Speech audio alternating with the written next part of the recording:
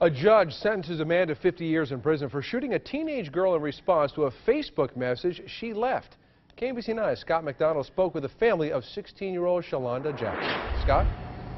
That's right, and Sholanda Jackson died in a convenience store. She was found dead clenching a bottle of medicine and a candy bar that she just bought for her grandmother. It all started on Facebook and it ended here today inside this courthouse with a prison sentence.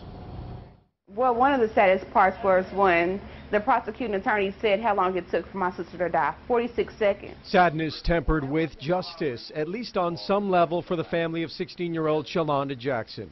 I can't see my daughter but on, in pictures. And his family is able to see him, hug him, touch him, talk to him, and I can't do any of those things.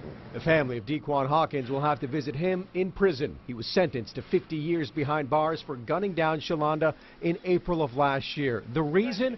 A Facebook post he didn't like. If they could just take Facebook away, I think it'll be it won't be peaceful, but it, it'll bring a lot of, it'll calm a lot of stuff down. She thinks if Facebook didn't exist, her sister would still be alive. The family is still coming to terms with how she was taken from them. One short message that changed several lives forever. She must have really hurted his feelings in order for him to do that. And I don't know if he had to show his homeboys that he was a man by going to kill my daughter or what. And when it comes to the social media site, they now think twice before posting a message. They do, because people post stuff out of anger, like they feelings, how they feeling during that day. They done got into it with somebody, so they'll post it on Facebook. My daughter had a whole life ahead of her, and she was robbed from it.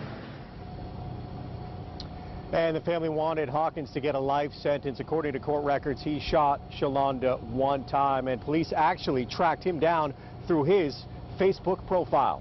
Reporting live, Scott McDonald, KMBC 9 News.